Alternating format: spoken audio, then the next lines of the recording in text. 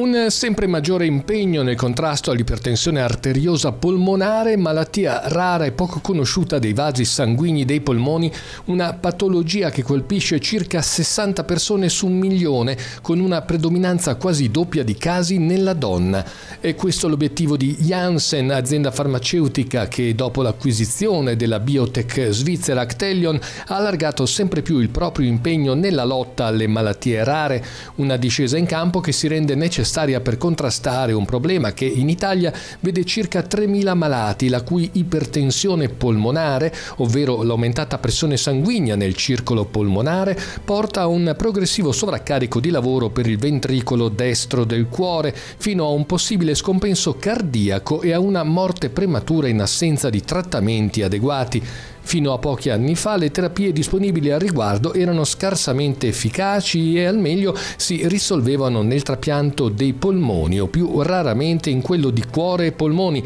I progressi compiuti consentono oggi una migliore qualità della vita dei pazienti e riducono il ricorso al trapianto. L'ipertensione arteriosa polmonare è uno dei cinque gruppi principali in cui noi classifichiamo tutte le condizioni che possono portare all'ipertensione polmonare. È una delle forme più gravi, coinvolge la circolazione distale dei polmoni, ostruendone i vasi e quindi determinando un aumento della necessità di lavoro da parte del cuore destro che a lungo andare può eh, scompensarsi producendo delle complicanze anche molto gravi. La prevalenza di ipertensione arteriosa polmonare è stata ormai definita sui 60 casi per milione di abitanti, l'abbiamo anche confermata noi nella provincia di Bologna, la cui popolazione è di un milione eh, di abitanti,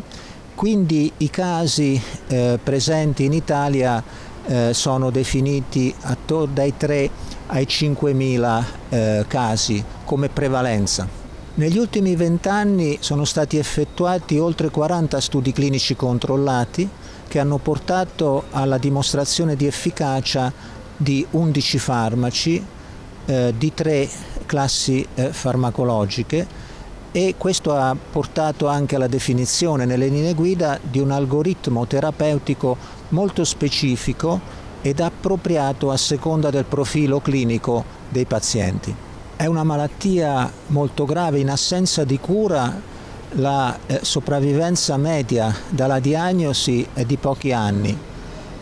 Per fortuna le strategie terapeutiche che sono state sviluppate hanno notevolmente migliorato questa situazione con un miglioramento non solo della sopravvivenza ma anche della qualità di vita dei pazienti. I centri esperti sono fondamentali per le malattie rare, perché solo loro riescono ad avere una numerosità tale da mantenere l'esperienza e soprattutto da contribuire agli studi clinici controllati, quindi è fondamentale che il paziente venga seguito da questi centri. Allora, un paziente che ha le prese con l'ipertensione polmonare prima della diagnosi vive un momento molto difficile sia psicologicamente che fisicamente. Fisicamente perché chiaramente sei in affanno, ti manca il fiato, non riesci a compiere le attività quotidiane in maniera normale, psicologicamente perché magari eh, stai peregrinando tra un medico e un altro senza avere una diagnosi precisa del, del problema che hai. Con l'associazione cerchiamo di aiutare i pazienti proprio in questo percorso. L'associazione sostiene il malato che nel momento del dubbio magari sente parlare da qualche medico, gli viene accennato un'ipotesi di ipertensione polmonare, noi cerchiamo di, di, aiutare i pazienti indirizzandoli verso un centro di cura d'eccellenza dove prima di tutto gli possa essere co mh, confermata la diagnosi in maniera concreta, ma soprattutto eh, è importante cucire addosso a quel paziente una terapia ad hoc affinché esca dalla malattia, esca no, ma insomma riesca a riprendere una vita eh, quotidiana serena. Il nostro paese eh, ha dei, dei, medici che sono dei riferimenti a livello mondiale eh, per quello che riguarda l'ipertensione polmonare e anzi siamo, siamo, molto fortunati a vivere in una, in una realtà dove questa malattia possa, può essere curata in maniera adeguata. Noi abbiamo 1300 sostenitori, li chiamo io, di cui il 50% almeno sono malati. E questo è un, un dato molto, molto, confortante per noi perché molte delle persone che, che vengono curate di, P, di ipertensione polmonare poi decidono comunque di sostenerci e, star, e stare al fianco dell'associazione. Il Covid è stata una problematica per tutti noi pazienti perché viviamo comunque una, nella vita quotidiana delle, diciamo, delle attenzioni eh, particolari rispetto a una persona normale. Nella fase del Covid siamo dovuti stare tutti quanti molto più attenti perché siamo dei soggetti a rischio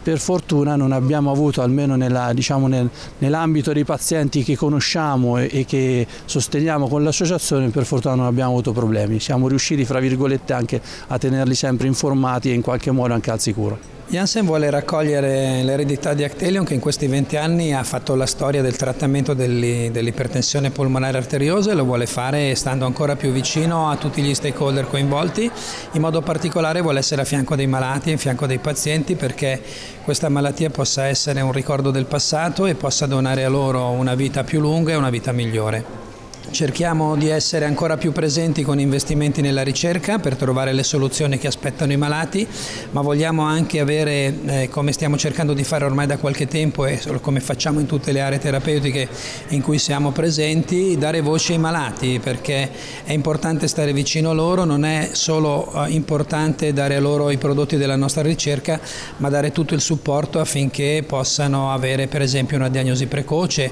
o vivere una vita migliore attraverso un supporto supporto che vada al di là del prodotto farmaceutico, ma che sia un supporto a 360 gradi per quello che riguarda la loro malattia. È stata usata una parola interessante oggi che non avevo mai sentito, matrimonio mi piace molto perché noi da tempo abbiamo cambiato il nostro approccio al malato. Prima, come molti dicono, usavamo anche noi dire vogliamo mettere il malato al centro. Poi parlando proprio con loro abbiamo capito che non è bello dire il malato al centro perché significa considerare il malato un oggetto. È più bello dire il malato malato al fianco, perché se il malato è al nostro fianco è un soggetto come noi che può lavorare insieme a noi, insieme ai clinici, per, eh, per trovare quelle soluzioni che per lui sono molto importanti. Quindi parliamo di soggetti e non parliamo più di oggetti e credo che questo aiuterà molto i malati a uscire dalla loro condizione.